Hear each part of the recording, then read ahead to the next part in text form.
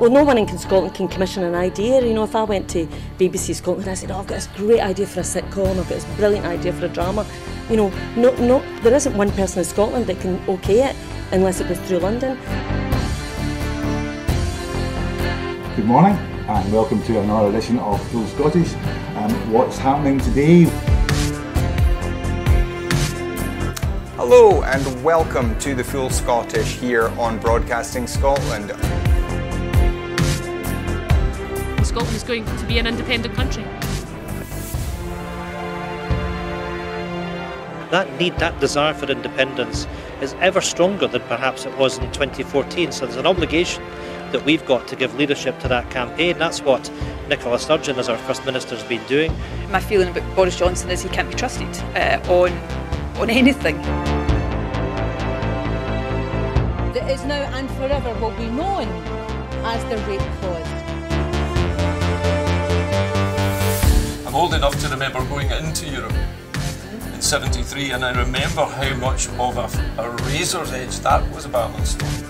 And I think we made it by 53% if I remember correctly for going in.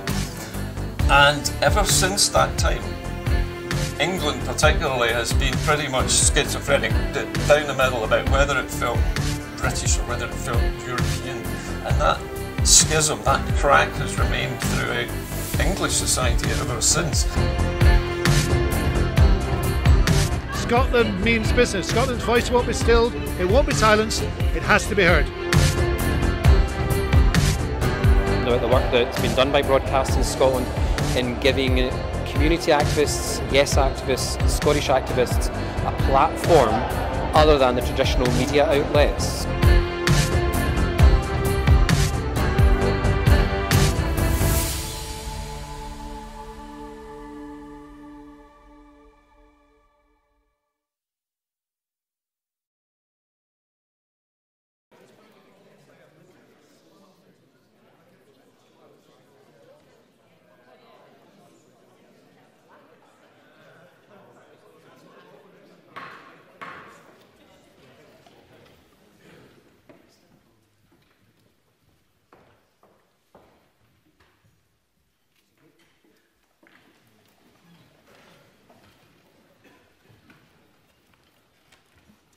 Thank you, colleagues. Point of order from Mike Rumbles. Presiding officer, I seek your guidance on our procedures. As you all know, the First Minister announced that at midnight last night she was imposing restrictions on people who reside in the local government areas of East Renfrewshire, Glasgow and Western Bartonshire. She said that, and I quote, you should not host people from other households in your home and you should not visit someone else's home, no matter where it is. Now, as far as I understand it, as far as I understand it, no regulations to do this have been lodged with Parliament about imposing these restrictions on the population. Again, as I understand it, these restrictions are not restrictions at all, but purely advice to those in the local authorities, these local authority areas. That's how I understand it. However, there is a great deal of confusion today because the media are reporting that these restrictions have indeed been imposed. I seek your guidance on the procedures as to whether the government have now laid these regulations to impose these restrictions before Parliament because I want to know that the proper procedures have been followed according to could I, according to the uh, Would you stop barracking, please? Can we have some order, please, and let's hear the point of order? Thank you. I want to know that the proper procedures have been followed according to the legislation passed unanimously in this Parliament in March, giving the Scottish Government these unprecedented powers.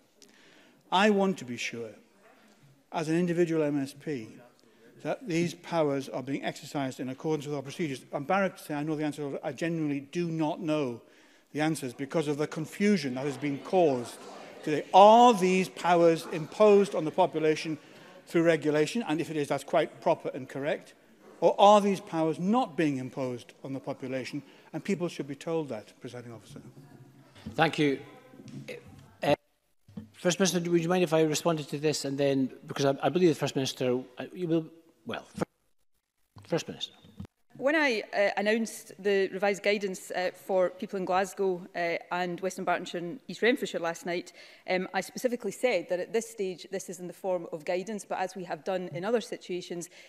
if we consider it necessary, we will translate that into regulation. If we decide to do that, then of course the proper procedures of this Parliament will be followed. Uh, what we are seeking to do right now is make sure uh, that the public are uh, under uh, no uh, doubt about what we are asking and advising them to do. Uh, and I'll come on to that later on. But I would have thought all of us in this Parliament, if we are interested in suppressing this infectious virus, actually have a duty not to sow confusion, but to give clear advice to people across the country. Thank you.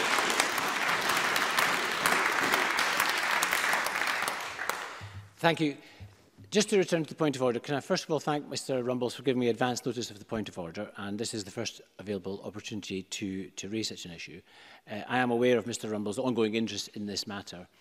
Uh, in this case, I would first of all observe that the term restrictions is used uh, to cover uh, guidance, statutory guidance and regulations, and all of those questions uh, are matters for the government and I would advise Mr Rumbles to put any direct questions on that matter to the government directly. What I would observe from a parliamentary perspective is that clearly if uh, such restrictions uh, are a matter of regulations, those will have to be laid before Parliament and Parliament will have an opportunity uh, to uh, pass its view on, on the regulations. Uh, so thank you for that and thank you for the First Minister for the clarification. Uh, actually, I would just take the opportunity to observe that um, what's also important from a parliamentary perspective is that important annou announcements are made to Parliament. In this case, the government did inform me directly before five o'clock yesterday, notifying me that it would be very difficult to do so because of the timing. And the government offered minister, uh, members from the affected region uh, a chance to discuss the restrictions last night at five o'clock, which I think was very helpful. So on that note, we're going to move on to First Minister's questions. And the First Minister, I believe, is going to begin with a short statement updating us on the current COVID situation. First Minister. Uh, thank you, Presiding Officer. Um, I will give a very brief update. Uh, an additional 156 cases of COVID were confirmed yesterday. That's 1% of people newly tested yesterday, and the total number now is 20,788. Uh, 86 of these new cases are in Greater Glasgow and Clyde, 26 in Lanarkshire, 16 in Lothian, and 6 in Ayrshire and Arran. The remaining 22 are distributed across six other health board areas. 258 patients are in hospital, six fewer than yesterday, and five people are in intensive care, uh, one fewer than yesterday. I'm sorry to say that in the past 24 hours, one death was registered of a patient who had tested positive, and the number of deaths under that measurement is now 2,495.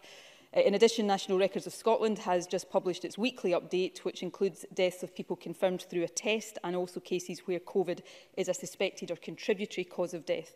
The latest update update covers the week to Sunday 30th of August and shows that the total number of registered deaths with either a confirmed or presumed link to COVID is now 4,228. Six of those were registered in the previous week, which is the same number as the week before.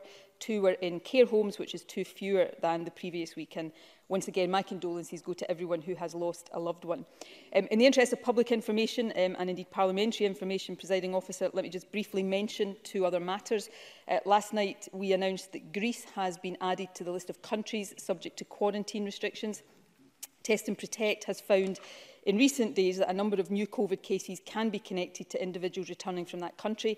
The new restrictions apply from 4am tomorrow morning. Anyone arriving in Scotland from Greece after that time must self-isolate for 14 days. Anyone who has returned from Greece in the past few days should be particularly careful about social interactions and follow all of the facts advice particularly carefully. Um, given the uncertainties inherent in a global pandemic, I also want to repeat my advice for people to be very cautious about non-essential foreign travel uh, right now. There can be no guarantee that the rules on quarantine won't change while you're away and affect you on your return. Um, secondly, let me just briefly remind people living in Glasgow City, East Renfrewshire and Western Bartonshire uh, of the new guidance in place. Uh, the level of COVID is particularly high and rising in these areas, and given the toll we know COVID can take, doing nothing was not an option. Uh, the data we now get from Test and Protect allows us uh, to be uh, much more targeted in the measures we take and what we know is that unlike the pub-based cluster in Aberdeen a few weeks ago, data so far suggests that transmission in the west of Scotland is happening, not exclusively, but mainly in people's homes. Uh, so the uh, guidance is now, uh, firstly, if you live in Glasgow, East Renfrewshire and Western Bartonshire, you should not host people from other households in your home and you should not visit someone else's home, no matter where that is. Uh, there are exceptions for emergencies, providing care or shopping to vulnerable people and for uh, extended households. And you can find further guidance and a Q&A at www.gov.scot. Uh, second, if any member of your household is identified as a close contact of someone who has tested positive, we will now ask the whole household to isolate for 14 days and local authorities are stepping up their support arrangements. Uh, and lastly, visits to care homes in these three areas is now restricted to outdoor only and hospital visiting will return to essential visits only. Uh, these restrictions will be in place uh, for two weeks and reviewed in one week. Uh, they've not been put in place lightly, but they are necessary and we believe proportionate, and we hope they will allow spread to be contained at an early stage without the need for further measures later. Uh, they apply only in these three council areas uh, right now, but I think they should be a wake-up call for all of us. If we let it, this virus will spread rapidly. The good news, though, is if we all stick to some basic rules and continue to make some sacrifices, we can stop it. Uh, but bluntly, that only works if we all do these things. So please make sure you are aware of what the rules are and stick to them and follow the facts rules. Face coverings, avoid crowded places, clean hands and hard surfaces, keep two metres distancing and self-isolate and book a test if you have symptoms. All of this is more important now than it has been at any stage of this pandemic so far. Thank you. I would just remind members that we're sticking to the format where uh, all supplementaries to uh, the First Minister will be asked at the end of all the questions. That is today after question seven. First question from Ruth Davison. Thank you, Presiding Officer. Yesterday, the First Minister announced plans for a referendum bill. Why is that more urgent than an education bill? First Minister. Uh, this government has uh, a very well-known, uh, well-established and well underway programme of improvements and reform in education. Uh, of course, we have uh, taken additional steps to make sure uh, that pupils catch up the education that they've lost over uh, the COVID period. Uh, we've given additional funding to local authorities uh, for that and of course we are providing uh, additional uh, funding specifically to recruit additional teachers. Uh, education uh, and improving education remains uh, the priority for this government. Uh, but on a uh, basic uh, matter of democracy, I believe it is for the people of Scotland uh, to choose their own future.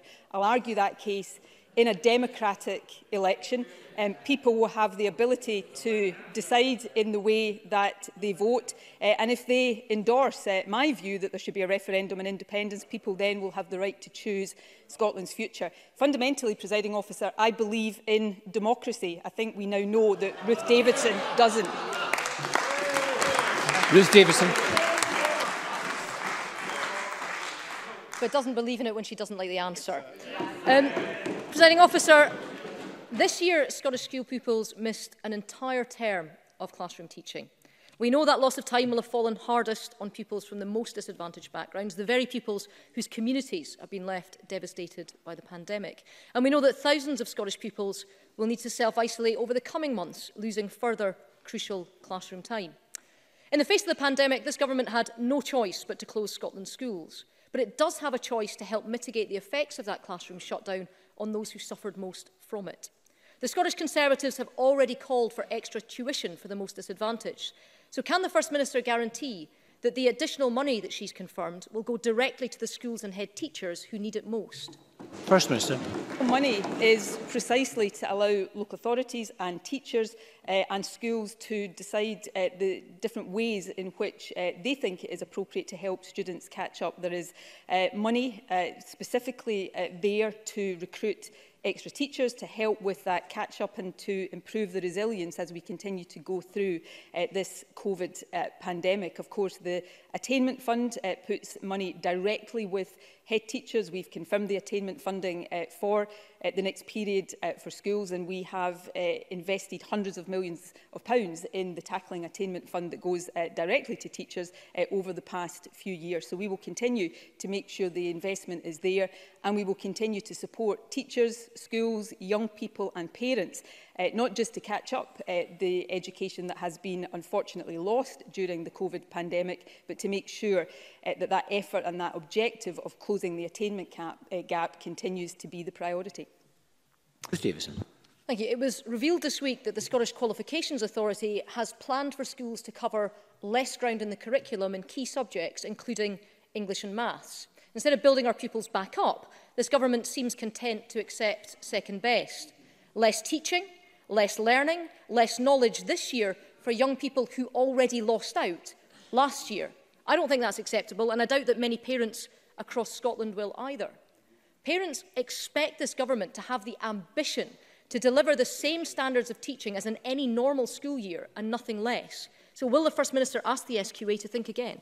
First Minister. Well, the SQA will do the work that is required. Of course, we have established uh, the independent review to make sure we learn all of the lessons of uh, the exams or the, uh, what was put in place because we didn't have exams this year. And I think it's right that we allow that work to happen. The SQA, SQA will look closely um, at issues around the curriculum and will listen very carefully to uh, the views that have been expressed in that. Uh, these are debates that are uh, ongoing across across the whole of the UK right now. And it's important, I think, particularly given the mistakes that were made, uh, and I take responsibility for those mistakes around the SQA results this year, that we take time to make sure that we get that right while continuing to support young people through an ongoing virus situation that has not yet uh, ended. So we will continue to take these decisions uh, very carefully. Of course, coming back to the, the core challenge all of us face right now, uh, we have uh, seen Scottish young people thankfully return to schools because of our different term uh, dates earlier than uh, most uh, other young people across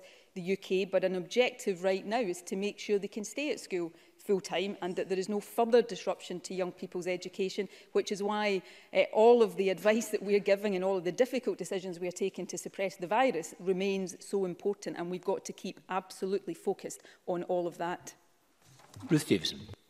The SQA will do what is required. It is acceptable to you when you know that they're planning to cover less ground this year to tell our parents, to tell our children that they'll be taught less and they will learn less. I'm, I'm sorry, I'm, I'm not sure that's good enough. Now, I know that the First Minister doesn't like to be asked questioned on her record, but the fact is she deserves to be challenged on this. Because it was her that said that education would be her number one priority. It wasn't us. It was her who said that a flagship education bill was needed to fix Scottish education, not us. It was her that said closing the attainment gap was what she wanted judged by, and her record simply doesn't stand the test. First Minister, There are warnings ringing out about the school year already. There are parents, there are pupils, there are teachers who have all sounded an alarm about the SQA's plans. Shouldn't that be her focus? First Minister. Uh, all of these things are my daily focus. Can I say to Ruth Davidson, not only am I uh, perfectly willing and happy uh, to have questions asked of me about my record, my policies and my plans, I'm happy to allow the Scottish people to judge that in an election. Instead, we have, we have Ruth Davidson, who wants to continue to be a politician, but without the consent of a single person across this country. And yet she has... She's heading to an unelected parliament, but has the brass neck to lecture the rest of us on scrutiny and accountability. There is no ermine cloak in the world will cover up that hypocrisy. On the issue of education, we decided not to take the time to pass legislation, but to get on and do all of the things that would have been in that bill uh, without the need for legislation. We are investing record sums in closing the attainment gap. We are supporting young people through this difficult period and we will work with the SQA. Unlike other governments, we won't uh, blame a body like the SQA. We will take responsibility and we will work with them to make sure that young people are supported to catch up their education, but this crucial work to close the attainment gap and raise standards for all continues. And we will be accountable that, uh, for that before the Scottish people in just a few months' time. Question number two, Richard Leonard. Thank you, Presiding Officer. And can I remind members of my uh, register of interest, especially my trade union membership? Presiding Officer, we now know that in the early days of the pandemic, not only were untested patients discharged into care homes, patients who had tested positive for COVID-19 were sent into care homes. The Scottish Government can continue to wait for the data from Public Health Scotland, but these are undisputed facts, even if they had to be uncovered by Freedom of Information requests and journalistic digging. The review announced yesterday into the future of social care is welcome, and a national care service is something Scottish Labour has called for for a decade. But I say to the First Minister, we cannot go forward without looking back at what went wrong in care homes during this pandemic. This morning, I spoke with Alan Whiteman. Alan is part of the Bereaved Families for Justice group. He told me that his mother was in a care home in Fife. He has no complaints about the care she got in the home, but sadly she died from COVID-19 on the 6th of May this year. She had just turned 80. Alan is angry. He says that the government, in his words, seeded the virus into care homes without considering the consequences.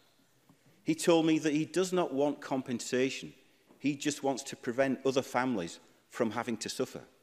So he told me that as well as a human rights-based full public inquiry, we need an urgent review, and in his words, we need it fast. So for Alan's sake, and for all those other grieving families Will you instigate an urgent, independent review of what happened? Because Scotland's bereaved families deserve answers, they deserve justice, and they shouldn't have to wait. First Minister. Uh, well, firstly, my uh, condolences are with uh, everyone who is in Alan's uh, position and uh, specifically to him for the loss uh, he and his family have suffered. I, I deeply regret, and I know everybody does, every single uh, loss of life in this pandemic overall, and particularly because of the vulnerability of the people involved, uh, those who lost their lives in care homes. Um, I have a job to do right now, which is to continue to take the decisions with my colleagues to steer the country as safely as possible through the remainder of this pandemic. None of us know how long that will take, and I have a duty to the country to make sure that our undivided focus is on that, and, and that's what I intend to do.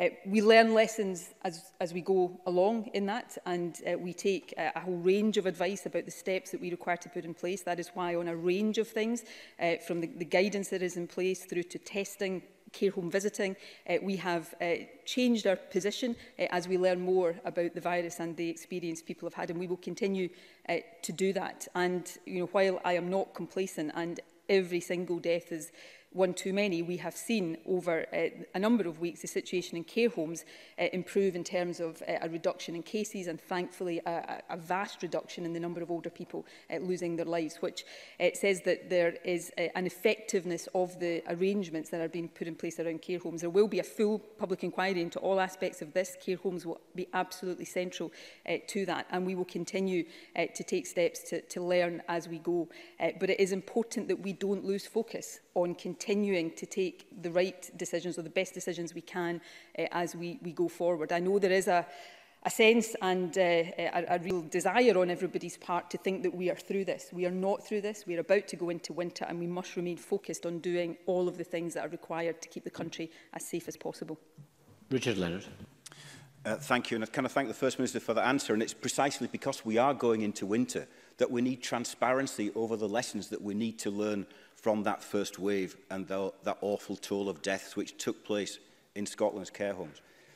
Let me move back to yesterday's announcement uh, again. And as I said, Scottish Labour has long called for a national care service. So it is welcome to see the First Minister come round to our way of thinking. It's not before time, but committing to a review of social care is very different from committing to wholesale reform. And my concern is that the First Minister doesn't seem to know what a national care service should look like. She shouldn't need an independent review to tell her the basic principles it should be built on. We know that three quarters of Scotland's care homes are currently run by private providers, which have higher rates of staff vacancies and higher rates of staff turnover. HC1, the largest provider, receives substantial amounts of public money but is owned by holding companies registered in offshore tax havens like the Channel Islands and the Cayman Islands. We believe that a national care service must remove the profit motive from the delivery of care. This is not a technical matter, it is a political question, it is a moral question. Why can't the First Minister bring herself to agree? First Minister. Um, I, I do actually agree, and I think I've done so before. Before I come on to that point, um, can I just complete the point about transparency around care homes? Because I actually agree with that too, um, and that's why we're taking certain steps that we are taking. It's why, for example, uh, we have asked Public Health Scotland by the end of this month to produce validated statistics on patients tested uh, prior to discharge into care homes and the outcome and the date of that test so that we know exactly what happened there and are able to ensure that the appropriate and proper lessons are learned. So while we focus on uh, the decisions that lie ahead of us. We are learning as we go and making sure that, uh, unlike any other part of the UK so far, there is those uh, validated reports uh, that allow Parliament to properly scrutinise that. And I, I think that is important. On uh, the issue of a national care service, I, I do agree, and I agree with the, the principles that Richard Leonard has enunciated. But there is a difference here, and I, I, I simply say this as a, a statement of fact, not intended as a, a pejorative or a, a, a political point, but there is a difference between calling for something in opposition and delivering it in government. You, you have to work out not just uh, the vision that you are seeking to achieve, but the detail of how you get from here to there. And that is why it is really important that we do that properly, we do that systemically, uh, and we understand all of the practical issues, issues around uh, the employment of staff, about structural integration, issues um, around the, the consistency of standards, um, issues uh, around funding and, and charging uh, for care home and how that has to be funded. So it is my job, the Scottish Government's job, not just to uh, say what we want to happen, but actually put in place the plans that can deliver it. And that's the work, uh, the serious work that we are committed to undertaking, helped, uh, of course, by the independent review that the Health Secretary announced yesterday. That's the responsibility of government. It's a responsibility I take seriously each and every day, and it's a responsibility that I will be judged on, as I said to Ruth Davidson at the election in just a few months' time. Richard Leonard. Uh, thank you. Uh, of course, the, uh, the concern is that experience tells us that when the SNP government resort to reviews, it often means kicking things into the long grass. But there are steps that could be taken now which would show that the government is serious about improving social care. So, First Minister, will you give a commitment today to appoint trade union representatives and representatives of care users to the review panel announced yesterday? so that the voices of those who deliver care and those who receive it is at the centre of that review. Secondly, will you establish collective bargaining in the care sector as recommended by our own Fair Work Commission? And finally, will you act to ensure that the extraordinary staff who deliver social care are given the status they deserve, the security at work that they need, and the pay and conditions that they have long merited. First Minister. On the issue of the composition of the independent review, I, I, we will listen to suggestions and if, if there is a feeling that we want to add people to that, we'll consider that.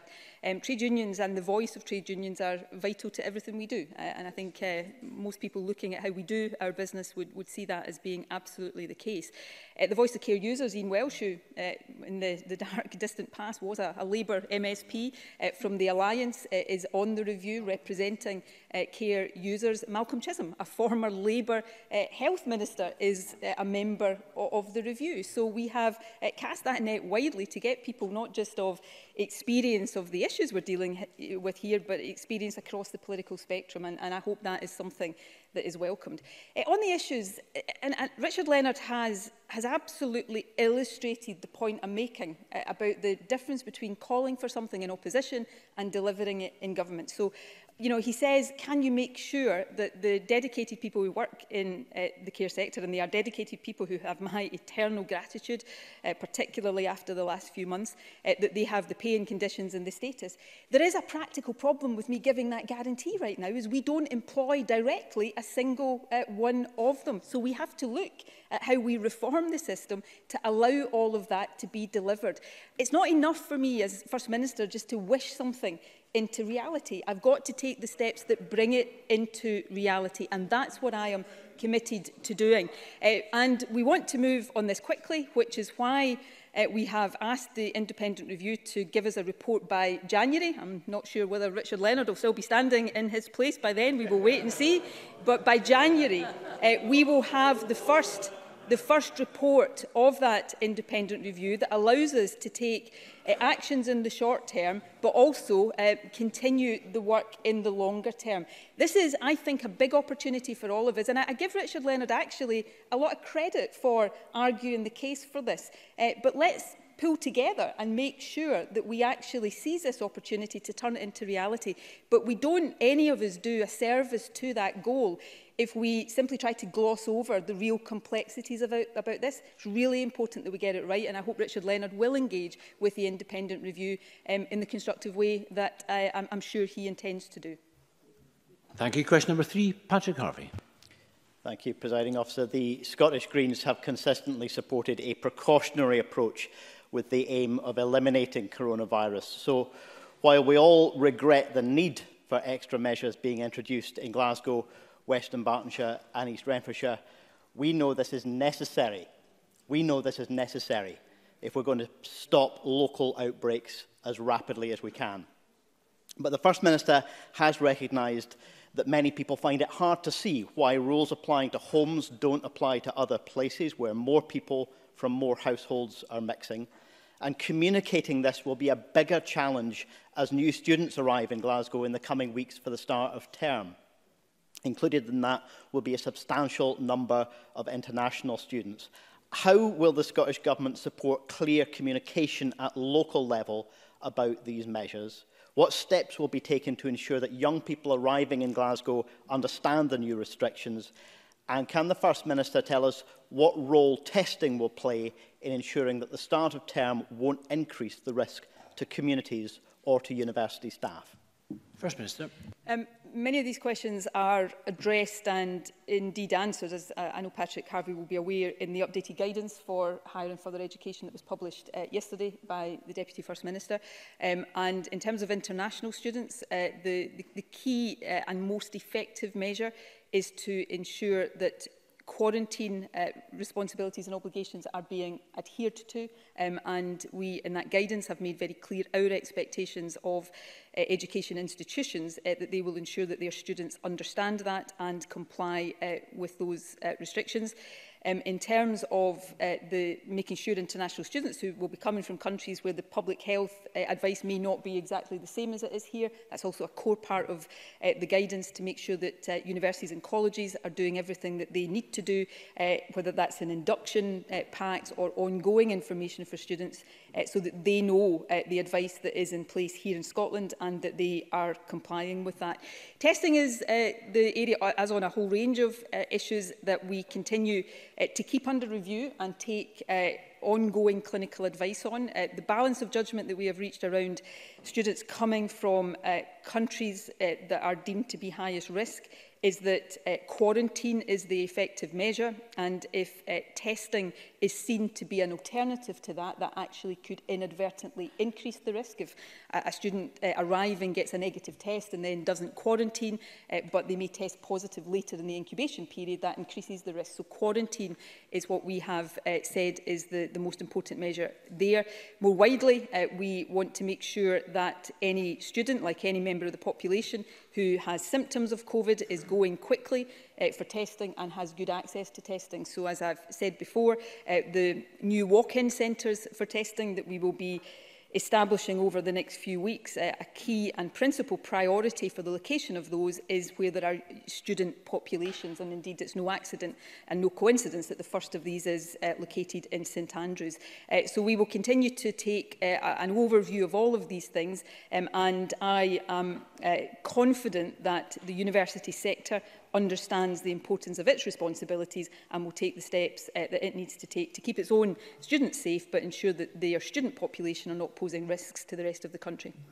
Badger Harvey. Uh, I appreciate what was a very detailed answer there, but uh, uh and uh, I think we all understand that there are complexities around using testing uh, as effectively as we need to. But the First Minister will also know that there are university staff who shared some of the same concerns that were had by school staff ahead of schools reopening, uh, and they want to have clarity about how these issues will be addressed. We also, presiding officer, need to be uh, especially aware of the impact lockdown has had and that the new restrictions will have on our most vulnerable citizens. We need unity and collective spirit across society if we're going to recover from this crisis, and that can't be achieved when vital support services uh, are being lost. In Glasgow, Citizens Advice Bureaus, uh, Glasgow and Clyde Rape Crisis, Glasgow Women's Aid, the Lodging House Mission and Drumchapel Money Advice Centre, among others, uh, have all been placed under threat. In just the last hour, they've been given a short-term lifeline, but they still face long-term uncertainty. Does the First Minister accept that these are essential services, that they already struggle to meet demand, and that this demand is only likely to grow uh, over the coming months? And does she agree that the Scottish Government must share with councils the responsibility to ensure that these vital services in Glasgow and elsewhere are saved for the long term? First Minister. Uh, yes, I do agree. Um, not only do I think that these services are, are essential services, I, I used to work uh, as a lawyer in Drumchapel Law and Money Advice Centre. Um, Govan Law Centre is in my constituency, Castlemilk Law Centre.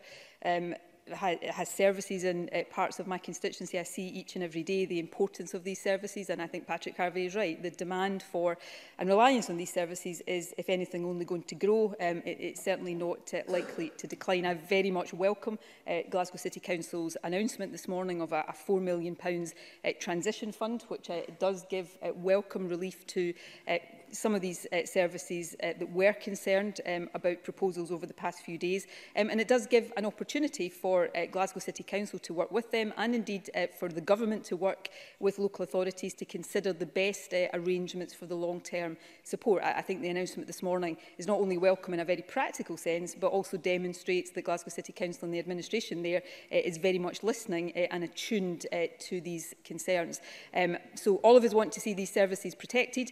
Uh, all of us us are fully understanding it. I know Patrick Harvey in particular understands the constraints on uh, the Scottish Government's uh, budget and uh, therefore by extension the constraints on local authority budgets but there is a really strong sense of the importance of these services um, and I certainly want to see them continue and go from strength to strength.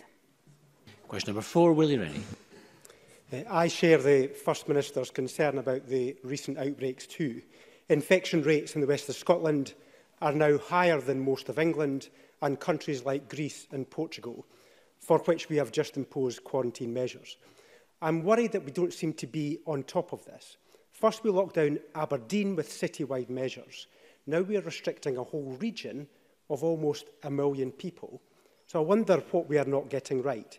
Test and protect was supposed to drive the virus out before it spread.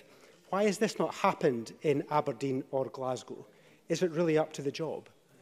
First uh, Minister. Uh, yes, it is, and I, I would encourage Willie Rennie to perhaps learn a little bit more about how Test and Protect operates um, and also to understand not just in Scotland, uh, not just across the UK, but in every country, the importance of, of these systems. And I actually think Scotland has probably got one of the best uh, systems uh, anywhere because it is built from the bottom up on our well-established health protection uh, workforce um, and the way it does that uh, is, is not new and we've scaled it up significantly. Uh, test and protect, if, if we hadn't test and protect then uh, we would not have been able to contain the outbreak in Aberdeen uh, and if we hadn't test and protect we would not have been able to contain as effectively as it was the case the outbreak in the Two Sisters food processing plant in Cooper Angus. Uh, it is because of test and protect that these outbreaks have not seeded uh, wide, uh, wider and more widespread community transmission. Test and protect protect, and you know, I've, I've said this right from the start, and I'm not the only one who, who says these things, it is not the first line of defence, and it cannot do all of this on its own. Um, so test and protect is there when an outbreak starts to make sure it doesn't spread more widely, um, and is also there to give us crucial intelligence and data to know where to target additional uh, actions. And that's uh, why we've taken certain actions in Glasgow that we didn't take in Aberdeen because the nature of the, the problem we're dealing with right now is not identical. But the first line of defence is all of us. And, and Scotland is not Uh, it's not just that we're not unique here, we're in no way uh, uh, out of sync with what's happening right across Europe where transmission is, is rising. Uh, actually, in terms of our overall uh, positivity rate, the numbers I've uh, announced again today, positivity rate of around 1%, which is actually lower than you will find in uh, many other countries right now, well below the 5% threshold that the WHO says is the sign of a, an outbreak being under control. But all of us have to play our part in keeping this under control and uh, uh, when we don't stick to the rules, uh, then we will see uh, outbreaks and clusters happen and then Test and Protect's job is to try to contain them. It's doing that job very well and I, I, I target this last sentence to all of us, myself included. I think all of us have got to do our jobs maybe just a bit better because we're all perhaps thinking it's over and, and not being as stringent. And I think it's a moment for all of us just to tighten up on how we are abiding by all of these really important rules. Willie Rennie. I'm sorry if the First Minister doesn't like me asking these questions, but it's important that opposition members challenge the government on its performance. And I am deeply worried we're not on top of the virus. If we're having to restrict the activities of almost a million people, I have a duty to ask what the government is doing. And I think the First Minister should accept that that is the case. It was reported that some of the infections may come from holidaymakers returning home with the virus. Last week, I asked the Justice Secretary why the quarantine spot checks had lost almost 700 people. He didn't know the answer. So can the First Minister tell me, do we have this outbreak in the west of Scotland because those quarantine spot checks didn't work? And if not, why did we have the outbreak? First Minister. Um, I, I don't mind anybody asking me questions. I've probably answered more questions. I've, I've probably answered more questions on uh, COVID over the past uh, than any other leader anywhere, perhaps in the world. Um, I have no objection to that. I just think there is a duty on all of us not just government but opposition as well, to really make sure we understand how all of these things are working so that we are giving the proper advice uh, to the people across Scotland. And, you know, if we look across the UK right now, the kind of restrictions that are now in place in the west of Scotland, have been in place for some weeks in the northwest of uh, England. Uh, they, are, they have been in place in, in places like Manchester. You look across Europe right now, uh, and there are many parts of Europe with even more stringent restrictions. It's actually because, and this is absolutely counterintuitive, it's because we're on top of this that we're acting preventatively and in an early intervention way to try to stop these outbreaks really running out of control. And it's test and protect that's giving us the information and the data to allow us to target this as effectively um, as we, we can. On quarantine, uh, we have uh, put in place, uh, and, and these are arrangements that are in place across the UK, um, regulations for countries where we think there is a particular risk. Greece, we know from Test and Protect that a number of cases have come in from Greece, which is why we've actually acted earlier than other parts of the UK to place that country on the quarantine risk. Public Health Scotland then does the job it, it has been tasked to do to make sure it is doing sample checks to ensure compliance. So these uh, systems are working. We will always keep the operation and the efficacy of them under control. But I come back to a fundamental point here that it is down to every single one of us to be abiding by all of these rules. And that is applies whether you're coming back from a country overseas, it applies whether you're having people in your house, it applies when you're out and about and making sure you're following all of the rules. Uh, government uh, has got the lead responsibility here, but government can't do this on its own. All of us have to do the right things. And the good news is, if we all do the right things, then we can keep uh, this virus under control. And while the numbers we are seeing right now uh, in common with many countries, are causing concern again. Uh, I come back to this point that we are still at a positivity rate, given the uh, vastly increased numbers of tests that we are doing, of around 1%, and that should allow us to be vigilant, uh, not to be complacent, but also to keep it in perspective. Thank you. Question number five, Christine Graham.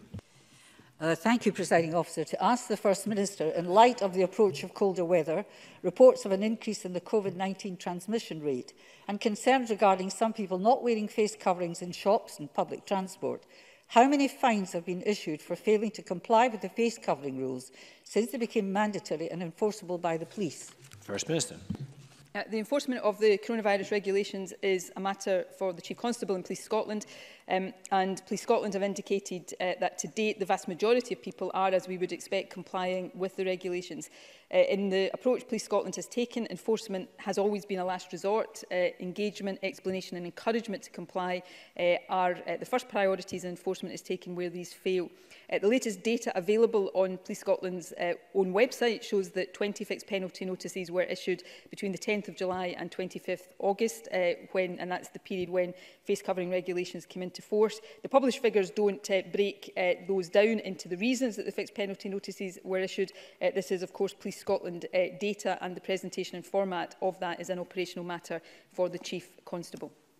Christine Graham. And uh, I thank the First Minister for her answer. And I would emphasise I'm not blaming the police. But with COVID creep all too evident, bus drivers, store managers, shop assistants and the public often feel helpless and exasperated by the flouting of the use of face coverings by a growing minority, in my view. So is the Scottish Government considering upping the ante by requiring individuals to provide, if asked, albeit discreetly, evidence of their exemptions. I'm not suggesting GP notes by any means, together with stiffer fines, both of which would deter non-compliance, assist the police and provide that added protection for the travelling and shopping public and release shop managers, shop assistants and bus drivers from the pressure that's sometimes put upon them to do something. First Minister. I think uh, the police have got to continue to act with discretion as, as they have been uh, doing. Uh, in response to Christine Graham's question about uh, amending the enforcement regime, uh, in a general sense, we will keep that under review. We have uh, changed the uh, areas of enforcement on previous occasions and we will always uh, consider doing that if we, we think that is, is necessary and you know, levels of fixed penalty fines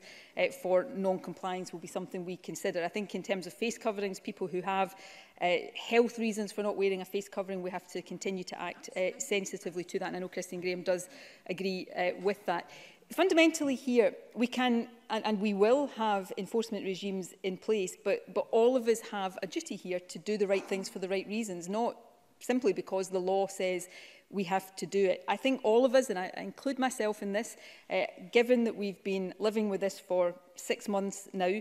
It gets harder. Um, these things are all a, a real pain uh, to, to have to comply with.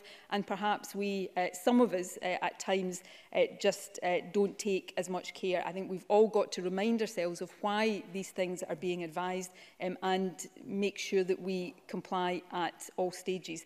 I think on face coverings, I think the vast, vast majority of people are complying, but anybody who is not and they don't have a good reason uh, for, for not doing so, then I would urge them to really think about about it because wearing a face covering is protecting other people um, and other people wearing a face covering is protecting you. It is one of the best expressions of that collective solidarity that will get us through uh, this crisis. Question number six, Brian Whittle. Thank you, Presiding Officer. Uh, to ask the First Minister what the Scottish Government's response is to reports that police call-outs for people experiencing severe mental distress have increased by up to 25% during lockdown. First Minister. Police Scotland officers are very often the first to respond to urgent situations involving people with mental health issues and as such have an important role in providing support as part of a multi-agency approach. Uh, that includes their role in the Distress Brief Intervention uh, programme, uh, which takes referrals from emergency responders, including the police. To support individuals in distress during the COVID pandemic, the government has provided over a million pounds uh, to expand the DBI programme nationally. We've also provided an additional £2.1 million pounds to enable the NHS 24 Mental Health Hub to expand to a 24-7 service, um, as well as providing immediate help and advice. The hub can now refer individuals in emotional distress but who don't need emergency clinical intervention to the dis distress brief intervention programme for further support. Brian Whittle.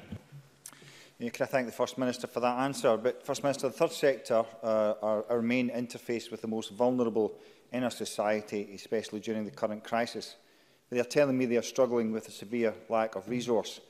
There's reports of a rising suicide rate, there's a rising death rate in those suffering with addiction, up to a third during lockdown, as well as a rising issue with adult and child poor mental health. It is little wonder that our frontline police are having to pick up the pieces. I think the concern here is, and I understand this, there is a fixation on the effects of COVID-19 to the detriment of those in our society who mostly go unseen. So I ask the First Minister if her government will look again with urgency at the support being offered to our third sector, and does she recognise that this crisis should give us the opportunity to look again at how we fund our third sector? First Minister. Um, I will always uh, keep under review how we're funding the third sector, particularly during this crisis. And, and yes, I do think, as on so many other issues, we have an opportunity to look at, to see how uh, we do things generally and whether we can make uh, more fundamental improvements there. I we'll make the point again because it's a point that for me and the government is inescapable that our, our budget is largely finite and uh, we cannot, you know, we, we stretch that as far as we can, but there are limits uh, to that.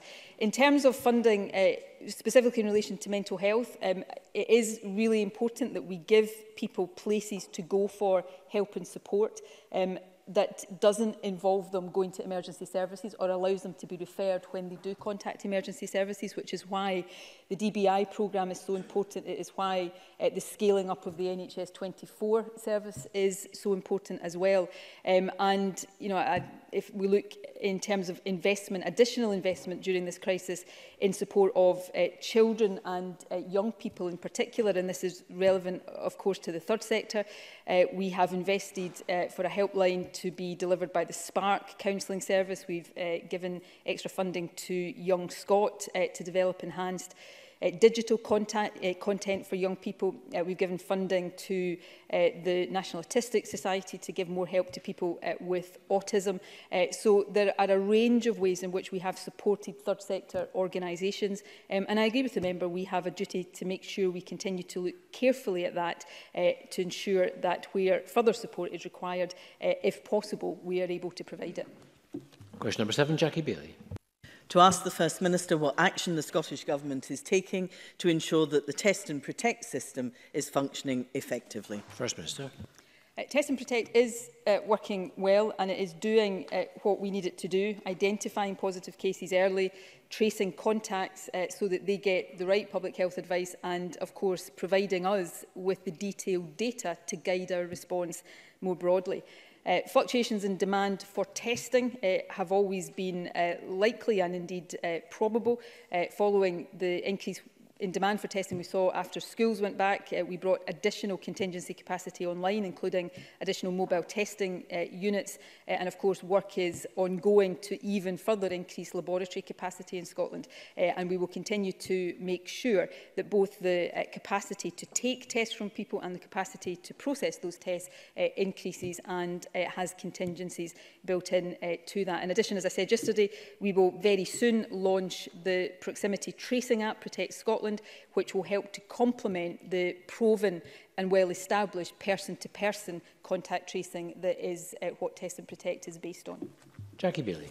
Can I thank the First Minister for her response? Care workers in my constituency and across Scotland are reporting delays in receiving the results from COVID-19 tests. In some cases, the delays are for five to six days, which means that staff don't know whether it's safe for them to be at their work. First Minister knows that pressure on testing will build over the winter, so there is a need to increase capacity particularly when there is the risk of increased transmission and local restrictions in areas such as mine in Western Bartonshire. Can the First Minister advise when capacity will be increased? When will the 22 local testing centres be rolled out? And can I welcome, presiding officer, the sighting of the Mobile Army Testing Unit in Western Bartonshire because of the new restrictions in the area? But can the First Minister commit to providing permanent local testing facilities so that my constituents are not not having to travel huge distances to places like Dunoon or Edinburgh to get tested? First person. Um, the mobile capacity is important uh, because of its mobile nature, because it does allow, you know, even in uh, Jackie Bailey's constituency, it allows us to take capacity to particular areas that are much closer to people. So I think it's really important that we have uh, fixed capacity, which we will have in strategic locations around the country, but actually that we keep that mobile capacity to be more flexible in terms of the response. And of course, the Army mobile testing units, and you know, I expressed yesterday and do so again today, my gratitude to the Army are now being uh, uh run by the Scottish Ambulance Service.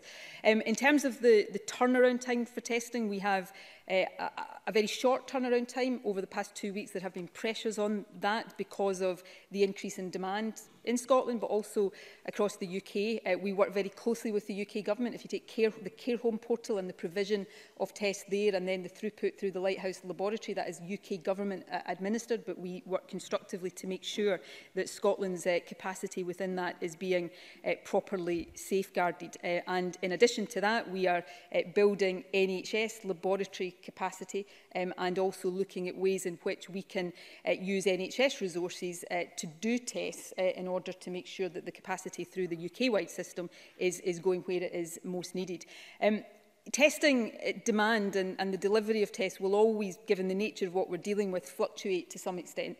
Um, but if I take the, the figures uh, for the 26th of August, which are a few days old because Uh, it allows us to give the most up-to-date comparison with other parts of the UK. For the so-called Pillar 2 testing, uh, on the 26th of August, there was uh, proportionately more than double the amount of testing done in Scotland than in England. Now, that will partly be because of our schools going back, um, so we need to make sure that it, there is an inbuilt uh, flexibility and contingency to this, um, and that's what we are committed to doing. Thank you. Move to open supplementaries. Bob Doris to be followed by Liz Smith. Thank you, Presiding Officer. As we've heard already this afternoon, the recent spike in cases in Glasgow, Western Bartonshire and East Renfrewshire has seen measures put in place to reduce the risk of the rapid rise of COVID-19 cases. Clarity of message is very important and there's two themes that have been raised with me over the last uh, eh, 12 hours or so when this has been known. Uh, so can the First Minister confirm whether tradespeople can continue to operate in people's houses and whether informal childcare such as a grand looking after the grandchild after school can continue to take place? First Minister. Um, these are the important practical questions people always have in these situations. Uh, there is a, a, a detailed Q&A on the Scottish Government's website which uh, addresses both of these points. Yes, you can still have uh, tradesmen going into your house to carry out uh, you know, essential repairs uh, or installations uh, or deliveries, but we are saying you should take particular care around all of the rules on uh, hygiene uh, and the correct wearing of face coverings uh, while any of that is happening. Formal and informal childcare arrangements can also continue, but again, extra care should be taken uh, with informal childcare arrangements, uh, which is involving someone from another household entering your home or a child entering your home. Uh, what we try to do is be as proportionate um, and minimise the restrictions as much as possible, but make sure that in the, on the basis of the clinical advice, they are as effectively targeted as possible to get to the heart of where we think the risk from, uh, of transmission is coming from. And that's what we've tried to do in the west of Scotland. Liz Smith, before by Anna Sauer. Uh, may I ask the First Minister to tell us what discussions are taking place between the Scottish Government and SQA about the timing of the 2021 exam diet? First Minister.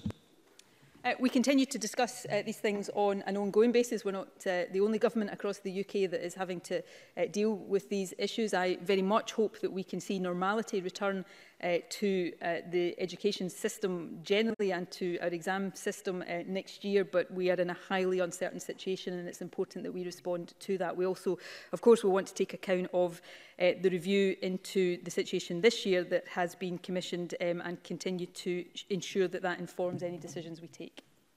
And I saw a word to be followed by Claire Adamson. Thank you, Presiding Officer. There has been a lot of pain, hurt and anger in Glasgow over the last week about the proposal to cut or in some cases completely withdraw funding from lifeline, last resort and crisis services like Citizens advice bureaus, eh, law centres, Glasgow Women's Aid and Glasgow and Clyde rape crisis. I welcome the £4 million resilience fund that has been announced today, but it shouldn't have to have taken a campaign in the city over the last week from people who are already distressed by this virus eh, in order to save those vital services. First Minister, we're in the middle of a pandemic. Thousands of our citizens have lost their lives. Hundreds of thousands of them risk losing their jobs. Our economy has collapsed and our services aren't coping. How did anyone think cutting these services now was the answer? So as a fellow Glasgow MSP and someone I know cares passionately about these issues, will you condemn that proposal and decision from Glasgow City Council? And as First Minister, will you ensure that these services are adequately funded now and into the long term, because we collectively should be fighting to strengthen these support services, not decimating them. First Minister. Um, I've got a huge amount of sympathy for the, the sentiment uh, behind that question. As Anas Sarwar uh, will know, because uh, as a Glasgow MSP, I'm sure he spent a lot of time uh, you know, looking into this issue very closely, as I have in the, the last week uh, from my constituency interest.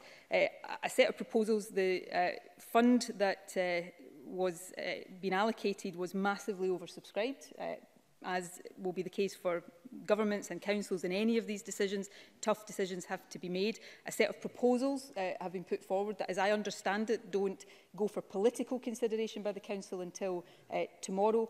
Uh, the Council, I think, rightly has uh, responded to understandable concerns about the impact of the proposals on the advice sector and uh, Jennifer Leyden, uh, the, the councillor uh, responsible in the administration, has made a very, very welcome announcement today. These are difficult times. Uh, I'm afraid I, I cannot because uh, our, as I keep saying, our budget is largely finite uh, and therefore difficult decisions, I'm afraid, while we uh, still have uh, these decisions uh, effectively governed by uh, decisions that have been taken elsewhere, cannot be escaped. But I think actually the decision uh, and the announcement from Glasgow City Council this morning is a recognition of the importance of these services and I think a very welcome uh, signal that Glasgow City Council is listening carefully uh, and trying to make the right decisions given the uh, current situation that we are all facing. Claire Adamson to be followed by Alexander Stewart. Thank you, Presiding Officer. First Minister, my office received a concerning um, report from a constituent who had attended a scheduled COVID-19 test at Regional Sports Centre in Ravenscraig.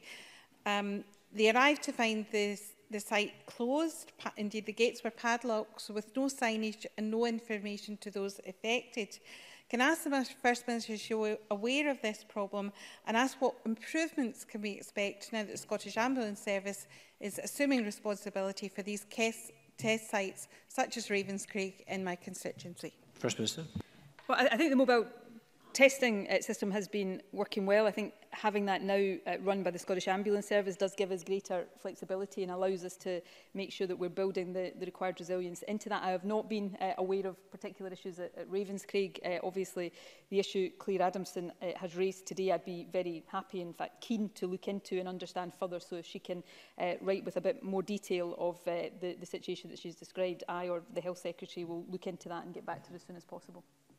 Alexander Stewart be followed by Daniel Johnson. Thank you, Presiding Officer. First Minister, prior to COVID-19, Scotland was losing the battle against obesity, with two in three people being overweight or obese. Clearly, the coronavirus pandemic has exacerbated an already serious problem, with directors of public health calling for action to tackle issues like poor diet and lack of exercise. Therefore, what measures will the government put in place to ensure that adequate support and help is afforded to those who need it most? First Minister. obesity uh, and healthy weight is a, a serious issue for all of us to uh, make sure we, we do everything we can to address. Um, I would commend yesterday's programme for government to the member. Uh, reading that, he will see a range of different things that the government is going to uh, take forward to try to do that. One of the things I think from memory I specifically mentioned um, in setting out the programme for government, of course, was the uh, £500 million pounds investment in active travel over the next few years to encourage people to uh, have active ways of getting around that help uh, give them the exercise that is a key part of tackling obesity and unhealthy weight. Obviously, we had to uh, put on hold legislation around uh, unhealthy uh, promotions. Uh, we want to get that back on track as quickly as possible. Um, and in a whole range of different ways, uh, we are seeking to support health health boards and uh, local organisations uh, promote the kind of behaviour that we want uh, others to take up um, and allow all of us to get on top of what is a big issue and, and an issue that we've always known uh, but given uh, some of the experience of COVID uh, we have been reminded of how important it is to people's overall health. Daniel Johnson to be followed by Kenneth Gibson. Thank you, Presiding Officer. The First Minister will be aware of the calls being made by the SQA Where's Our Say campaign group. Far from being resolved, they raise the issues from a significant number of young people who still feel that their grades are not fair. This group is making two calls. Firstly, that individuals, not schools, be able to submit appeals where there is evidence of performance that was not part of the teacher assessment and that individuals be permitted to submit an appeal where estimated grades were lower than those submitted via UCAS. Earlier in this session, the First Minister claimed that she takes responsibility for the mistakes made with exam grades. But it's two days until university places will be fixed. So will she make good on that claim? And will she give young people the direct right of appeal that they were promised? Um, the SQA e have put forward options on appeals in the context of the position we reached on teacher judgments uh, for this year's uh, results um, and uh, you know, I'll the Education Secretary will be happy to write to Daniel Johnson with more detail of uh, exactly the, the reasons uh, that they came to that uh, decision. I know this has been a difficult uh, period for all uh, young people, but in terms of university places, of course, we have already given a commitment that we will fund more university places uh, so that young people don't lose out as a result of the issues that have been encountered uh, this year. Kenneth Gibson to be followed by Liam Kerr. Thank you, Presiding Officer. First Minister Hunterson and in my constituency will cease energy production in early 2022. Whilst defuelling will mean no immediate job losses, investment locally in green, green clean energy is now the priority, not least through delivery of commitments made through the Ayrshire Growth Deal. Realisation of plans to redevelop the neighbouring Hunterson Park with its deep water port to include logistics energy research is vital and must be progressed if we are to sustain and then grow North Ayrshire's economy. Will the Scottish Government work in partnership with the UK Government and North Ayrshire Council to deliver the economic transition of the area as part of its Green New Deal? Um, yes, we absolutely will. Um, obviously, the decommissioning of Hunterston It raises challenges, but it also raises opportunities, both in terms of uh, our energy mix, but uh, also in terms of community and economic regeneration. And it's important that we do work collaboratively to make sure that we, we seize those opportunities. Uh, there is a, a real relevance here uh, of the, the whole just transition approach. Uh, obviously, as Kenny Gibson has mentioned, the Ayrshire Growth Deal has a key part to play here, but we look forward to working with all partners to make sure that this is done properly and in a way that has employment and the interests of local communities very much at heart. Liam Kerr be followed by Neil Findlay. Thank you, Presiding Officer. Yesterday's programme for government mentioned the hate crime bill, but failed to mention its costs. Submissions by the police suggest that the costs of the bill have been grossly underestimated and that several policing costs have not even been accounted for. Does the First Minister recognise the police's concerns? And given the many other concerns already highlighted around this bill, will she now consider rethinking the bill? First Minister. Um, For, forgive me if I'm, uh, if I'm misremembering who asked this question Yes, I think it was Liam Kerr and I, I, I answered, so I'm probably just going to repeat the answer I gave yesterday. We are at the start of the legislative process. I know concerns have been raised about this bill. I've given a commitment. We are listening carefully, and if we uh, required to make amendments, we will do that. And as part of the legislative process, of course, issues around uh, the financial implications of, of the bill will be fully considered and, and taken account of. That's the right and proper way to do things um, in a parliament. Um, I do, and I make no apology for this, think it is really important that as a society we do more to tackle hate crime uh, because the the pernicious impact uh, on often already disadvantaged groups of hate crime is unacceptable and none of us should be prepared to tolerate uh, or live with that. Uh, on the other hand, uh, freedom of speech, freedom of expression is absolutely fundamental and as legislators it is our responsibility to strike the right balance. And these things are not easy, but it is why we are elected to come to this place to do that difficult work. And that's what the legislative process is for. And I would encourage the member to engage with it eh, in details, I'm sure he will, uh, rather than uh, simply engage in kind of headlines uh, across uh, the chamber. Let's get down to the detail of doing the hard work to get to the right outcome that I think most people across the country want to see. Neil Findlay to be followed by Alistair Allen. Yeah, the new Scottish Met Service has been established with a budget of £37,000 per patient. This is almost double what it would cost if women to, were to make the choice to travel to the US for removal surgery carried out by pioneering surgeon Dr. Veronicus. Women in Scotland will not return for removal surgery to those doctors who recommended they receive the implants in the first place. That trust is broken, and they do not believe that those doctors have the knowledge or training to carry out full, safe mesh removals. So will the First Minister agree in the interests of patient safety, well-being and indeed value for money that if the women choose, they will be able to be treated by Dr. Veronicus with the NHS covering the cost of their visit for this specialist procedure. First Minister. Um, can I make uh, two or three quick points in, in response to that. I, I absolutely hear, and I've, uh, as Neil Finlay knows, uh, spoken directly to many of the women affected uh, by mesh implants, so I absolutely understand the trust breakdown issue. Um, what I would say, and I don't say this glibly um, or underestimate how difficult it is, but I also think there's a responsibility on the part of government to try to rebuild that trust, and that's part of the, uh, the, the impetus of the work we are trying to do, and I, and I think it is right that we seek to do that uh, working with women. Uh, we will, yes, consider options uh, for any woman in, in terms of the best option for them. Uh, what I would say in terms of supporting women to go to other countries, we also have to consider uh, not just procedures, but aftercare and make sure that there is an integrated approach approach to the care uh, of women, which has perhaps been one of the things that hasn't been sufficiently prioritised in the past. Uh, and thirdly, and I'm not going to get into uh, great detail here, um, but those who are close to this uh, issue uh, know probably more than uh, most members do, we have worked very hard to try to get uh, good arrangements with Dr Veronicus. For one reason and another, they haven't come to pass in the way that we thought uh, they might do. But we continue to be open-minded. We have continued to try to persuade um, and facilitate, rather is probably a better word than persuade, facilitate Dr Veronica's coming uh, to Scotland in a, a proper way that allows proper care uh, for, for, for women. So we will continue to try to do the right things in uh, a whole range of ways and consider uh, any outcome that any woman uh, asks uh, us to consider. And uh, the Health Secretary will continue to give this issue uh, the utmost priority. Alistair Allen to be followed by Andy Whiteman.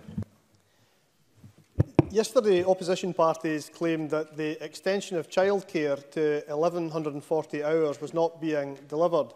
Can the First Minister tell us, despite the impact of COVID, how many of Scotland's 32 local authorities are delivering 1,140 hours? First Minister. Uh, 11 councils are currently delivering uh, 1,140 hours in full. Angus, Argyll and Butte, Clackmannanshire, Dumfries and Galloway, Dundee, East Renfrewshire, Inverclyde, Scottish Borders, Shetland, South Ayrshire and Stirling. 18 councils are delivering 1,140 hours in uh, some or most nurseries and some of them are substantially delivering it. Perth and Kinross, for example, 84% eh, of nurses are, nurseries are delivering it in full. In Renfrewshire, 80%. In Edinburgh, 85%.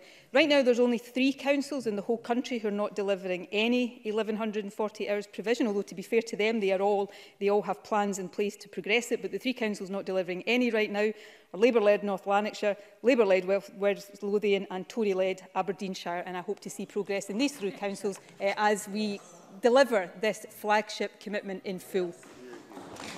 Andy Whiteman, to be followed by Lee MacArthur. Uh, yesterday, the First Minister expressed her gratitude to the emergency services for the work they've done during the COVID crisis, and I join her in that gratitude. She'll be aware of the PAY student paramedics campaign. Uh, will she agree to establish a bursary scheme for student paramedics, similar to that currently available to student nurses? First Minister. Uh, eh, firstly, can I say I, I am aware of the campaign. I've had constituents of my own uh, contact me about it. We, I'm not going to uh, cover all the detail in the interest of time, but we provides support for student paramedics in a, a range of different ways. However, the call that has been made for a bursary is one we intend to look at. We are about to do a review uh, of uh, arrangements for allied health professionals generally, and we will include this issue in that uh, review. And I'm sure uh, members across the chamber, as well as student par paramedics, will make a strong case uh, for the arrangements that they think are appropriate. And Liam MacArthur.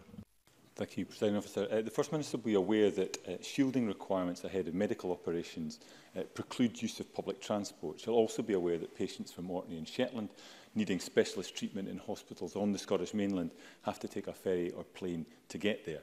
At present, therefore, the two-week quarantine period prior to an operation effectively prevents IELTS patients from getting the treatment they need. I understand that revised guidance has been developed that would greatly reduce the quarantine period uh, in line with what's in place elsewhere in the UK. So will the First Minister now ensure this guidance is implemented as a matter of urgency so that patients in my constituency have the same access to treatment as those in other parts of Scotland? First Minister. Um, yeah, I am aware of this issue and I know it has had uh, the attention of the Health Secretary. We are uh, finalising uh, the guidance that, that will be put in place to make sure that there are appropriate arrangements in place but that don't uh, make it more difficult for uh, patients on the islands to get the treatment that they uh, need. I'll ask the Health Secretary to uh, correspond with the member just uh, about the, the timescale for that and the detail of that guidance, which we would hope would be published uh, fairly soon, um, but we'll keep the member updated. Thank you very much, and I'm afraid apologies to members. We have to conclude FMQs at that point. Parliament will resume at 2.30 with a statement on the United Nations Conventions on the Rights of the Child, and I suspend this meeting.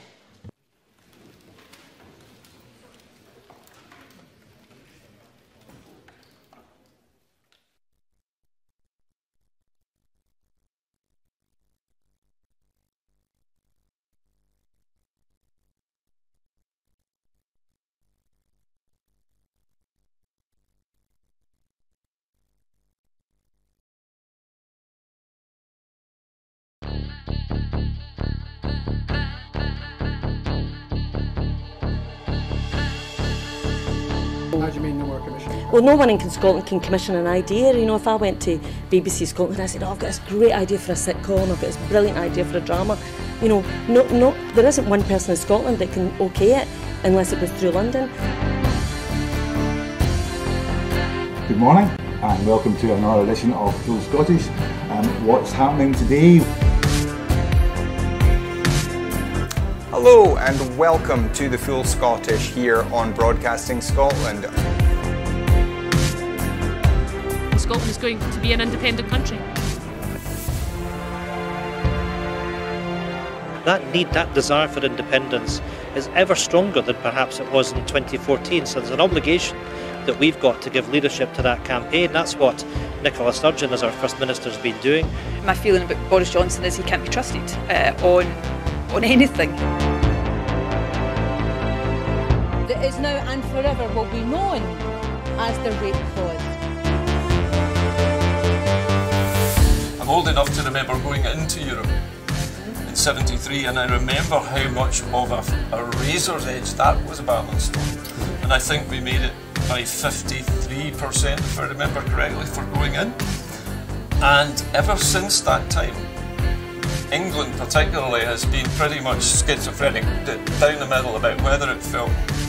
British or whether it felt European. And that schism, that crack has remained throughout English society ever since. Scotland means business. Scotland's voice won't be stilled, it won't be silenced, it has to be heard. About the work that's been done by Broadcasting Scotland in giving community activists, yes activists, Scottish activists a platform other than the traditional media outlets.